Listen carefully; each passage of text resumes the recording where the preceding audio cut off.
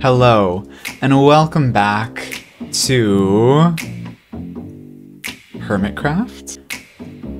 I have secured the seed for Hermitcraft Season 8, and after having a little poke around, which has been so much fun, I kind of think that I want to try to finish some of the things that didn't get finished in Season 8. Namely, Griangots. Grian's base is definitely one of my favorites this season. I mean, it's it's absolutely incredible. It's magical, it's atmospheric, but as you can see here, I've already poked a little hole in it. There's nothing in here. And I kind of want to uh, finish the back. Because it looks amazing from the inside, but as soon as you're back here, well, I know that I could do this with something like World Edit, but I'm gonna be honest, the thought of using World Edit makes me, um, how do I describe this? Oh, whoa, there's more down here than I thought. Um, I just don't want to figure it out. I just don't, I don't want to. So I'm just gonna try to go for this in creative mode.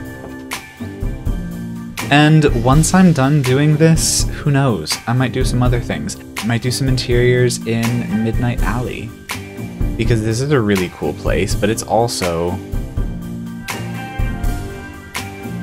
empty. And then a bunch of the other bases around this area and around the whole map have parts that are undone. And, you know, we'll see how far my motivation takes me with it. But yeah, I'm at least going to start here and see where we go from there. So let's get into it. The beginnings of a few time lapses did get cut off, they got corrupted, so you missed the walls and the floor in this one. Also, please excuse the Bodum lag, it is no joke. Now let's begin.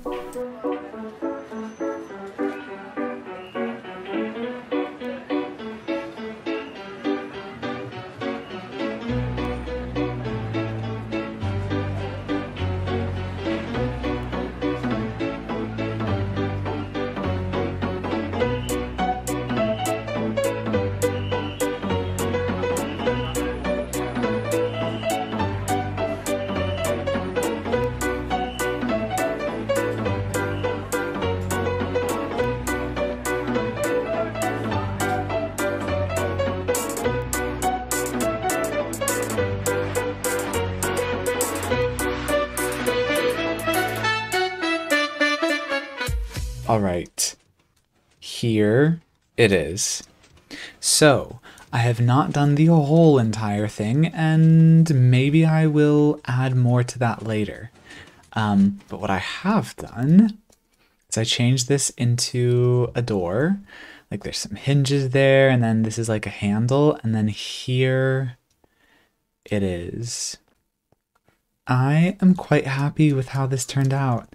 There's the G up there, of course, and multiple diamond chandeliers, each one bigger than the last. And then there's all the little, um, you know, the, the places where the goblins stand and do their counting.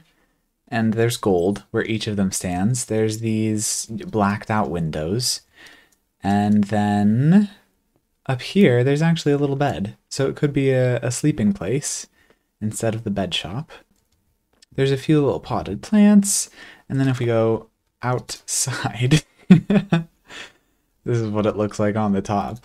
There is a tremendous amount of space left here that could be filled. And part of me is tempted to do that, but not right now. Um, what I do want to do, though, because we are a long way from being done, is finish the back of the base. Maybe I'm taking on too much here, but I'm not joking about this. when I said I was here to finish uh, the base, I kinda meant it. So, wish me luck.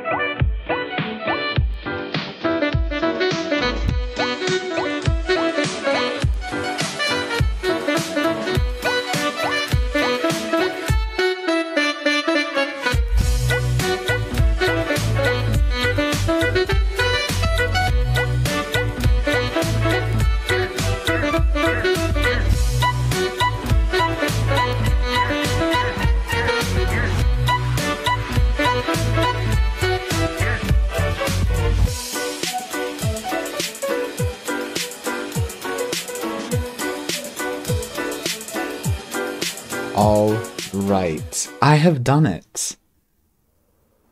All of it. And this took a minute. But here it is. The whole entire back is done. And it does do a weird dippy in thing here, which is a giant mob farm. but quite honestly, if I brought this mountain down to the water, I would want to extend it all the way through to the bottom of the seafloor, and I didn't want to do that. That sounded like so much work. I also gave the moss a little fade out up here to, to continue that. And then underneath here, oh, it is so laggy. There is a way in, which there is a lot of space in here. A lot of space. And th this is only one one part of it. It goes over here too. Oop, and you can see all the area that is encapsulated by these mountains.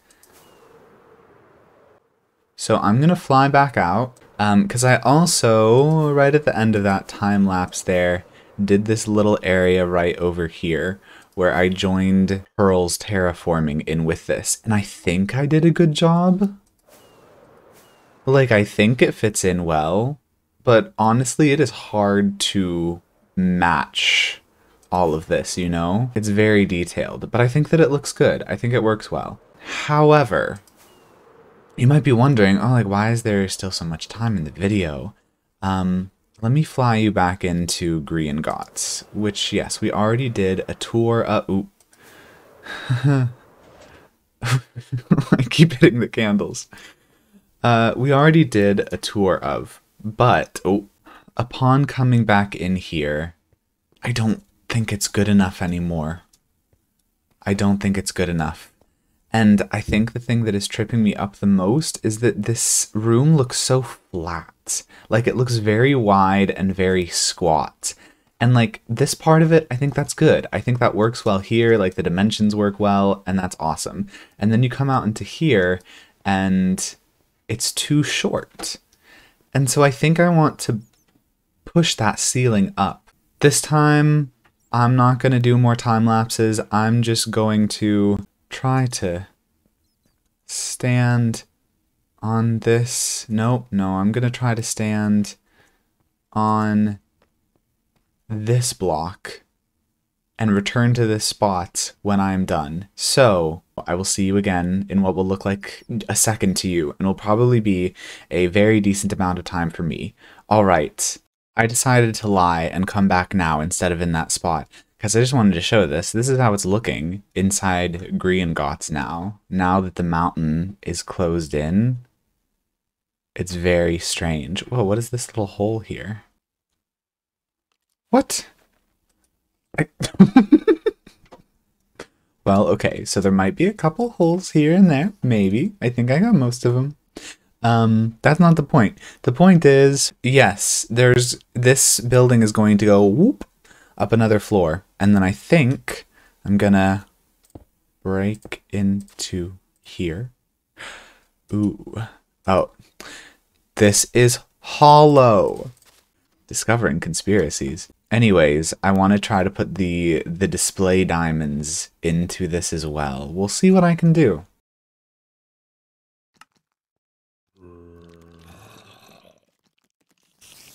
What?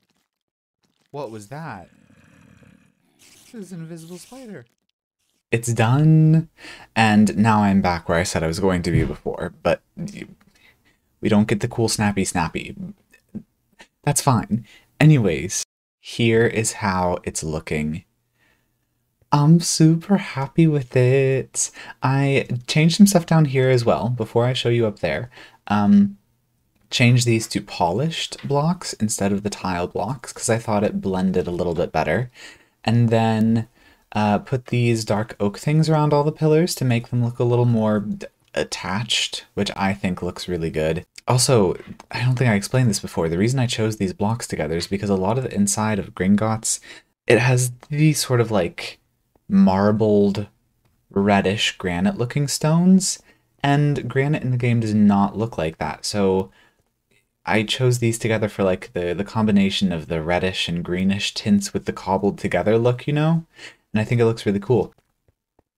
There is a brand new diamond chandelier which now makes these two over here look absolutely sad. Yeah, so now these doors here have a purpose. The, the little hallway stairway thing here is not much to look at, like there's nothing special in here. But when you get up here, I decided to turn this upper level into a sort of galleria style thing where like you know Gringotts is a fancy schmancy place and maybe they're showing off some of the things that they have found over the years. So like there's armor, there's a Netherite sword over there. There's a Nether star. There's these little benches things here, just in case you get winded walking down the hallway. There's an amethyst shard here. On this side in the same spot, there's a dragon head. I added in a few of the floating candles just up in this spot, not downstairs. And then over here, you can see the backside of this diamond pile that you can see from the outside, which I did have to remove the moss that was inside of it so I could make it complete. I am really happy with this now.